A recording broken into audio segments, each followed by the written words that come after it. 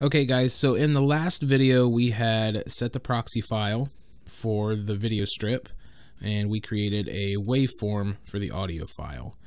Now in this video I want to focus a little bit more on the keyboard shortcuts and also on uh, simple video cutting, um, cutting the strips and moving them around, just the simple things that you need to do to be able to work in Blender in the video sequence editor. Okay, so to get started, there are two kinds of cuts in Blender. There's a soft cut and a hard cut. Um, the soft cut allows you to still be able to edit a file or edit a strip after you've cut it. A hard cut will remove that possibility.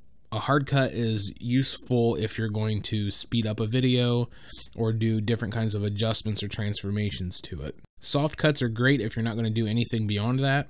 If you're just cutting a video and slapping things together. Soft cuts are fine.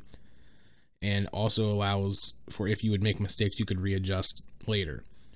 So to get started, you want to keep the audio and video file together. So you're always going to want to right click the audio, hold shift, and right click your video strip. That makes both of those selected.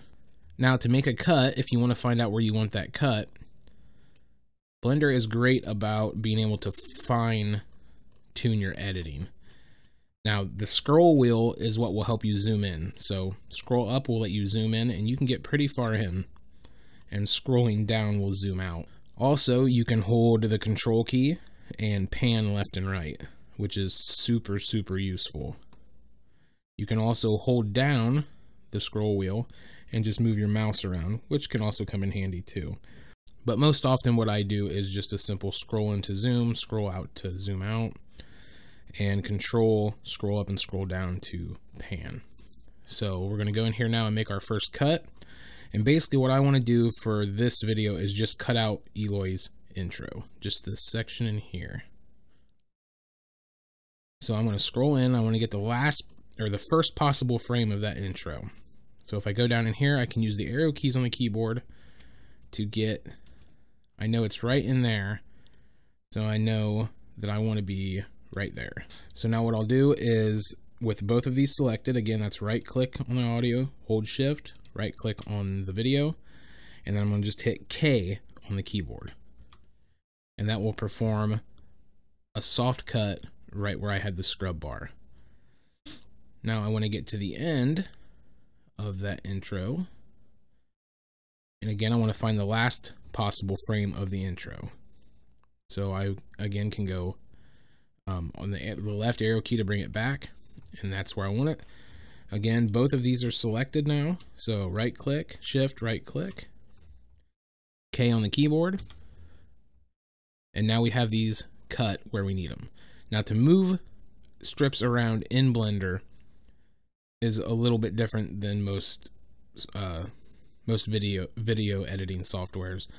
Um, usually you could just click and move. In Blender you have to right click, again shift, right click, and then hit the G button. And the G is for grab, and that's across Blender everywhere. G to grab to move anything. So you don't have to hold G, just hit the G key on your keyboard, and then with the mouse you can just move it wherever you want it and set it wherever you want it. So now that we have Eloy's intro out of here. If you would want to delete things, you would just right click, shift right click, hit the delete key on your keyboard, and click erase strips. Same over here, delete, erase strips. And like most softwares, if you deleted something by accident, you can just hit control, hold control, and hit the Z key, and bring it back, and just keep doing that until you get back with what you wanted. Okay, so we have Eloy's intro out of here. We're going to set it back to frame one. We're going to move this. And you'll notice this red overlapping. That is uh, not a bad thing. That will set it exactly to where those strips all butt up against each other with no uh, dead space in between. And you would just left click and it would set where it needs to be. So now we have Eloy's intro at the beginning. Sounds great. Looks great. Everything is good to go with what we were trying to achieve. So the last thing I want to show you is audio scrubbing because it would be great to find out if we wanted to cut something audio wise. To do that, you simply um, go into playback down here on the uh, timeline. Click playback, playback, check audio scrubbing, and now when we move through with the scrub bar, you will hear Eloy's audio.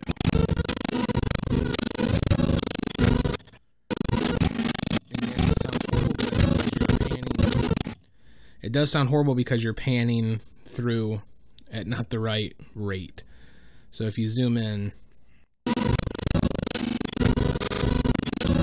that, but if we go back to the beginning, hit play, it sounds fine. Hi, I'm Eloy. So hopefully this video was helpful in helping you figure out how to cut video. It's a very basic thing to do. Um, in the next video, we will work just a little bit more with it, um, moving stuff around and some shortcuts to make things work a little bit quicker. But hopefully this will get you started um, just doing basic cuts, which sometimes is all you need. So I want to thank you guys, as always, for watching, and I'll talk to you in the next video.